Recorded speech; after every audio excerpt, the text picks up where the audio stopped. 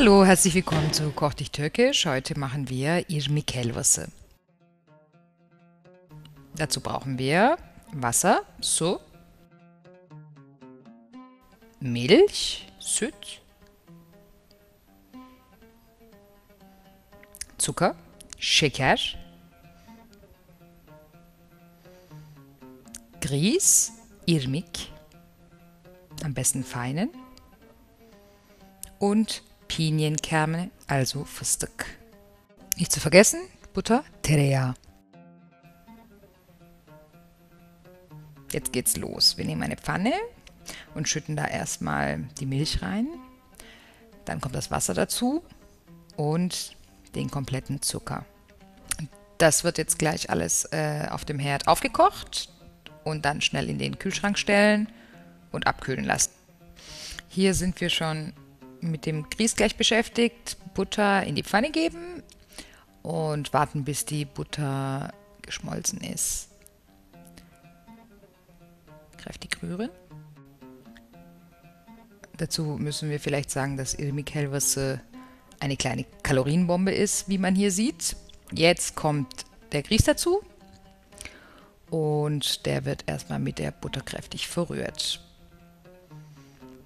Immer schön am Herd stehen und kräftig rühren, sonst brennt der Grieß schnell an.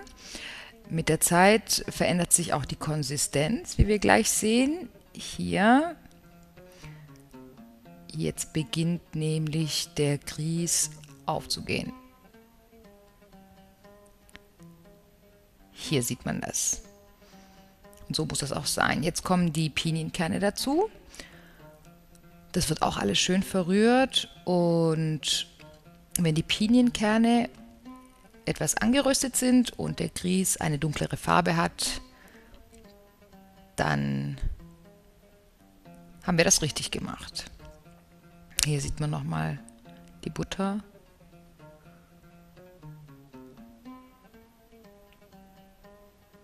Das kann einige Minuten dauern, aber immer schön weiter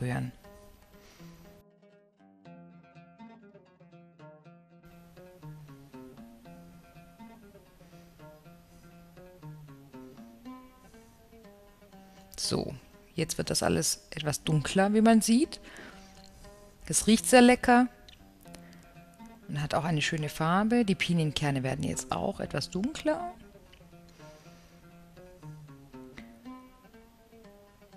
Und die Masse wird etwas fester.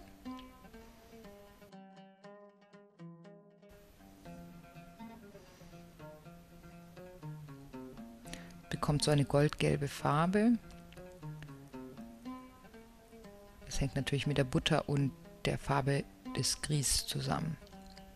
So, hier nochmal umrühren. Und jetzt kommt unsere Milch-Wasser-Zuckerfüllung dazu. Die haben wir aufgekocht und abkühlen lassen. Das ist wichtig. Es darf nicht warm sein, es muss abgekühlt sein. Geben wir in die Pfanne dazu und rühren jetzt weiter.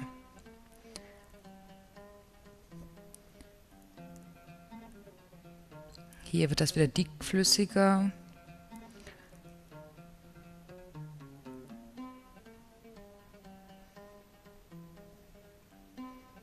Geht auch ein bisschen auf wegen der Butter.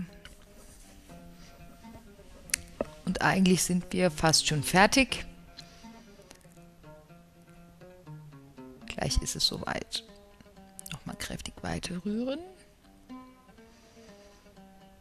Jetzt wirkt das alles schon etwas dunkler.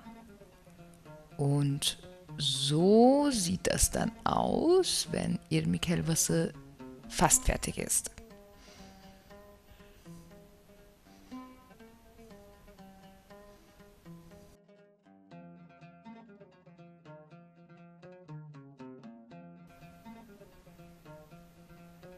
So.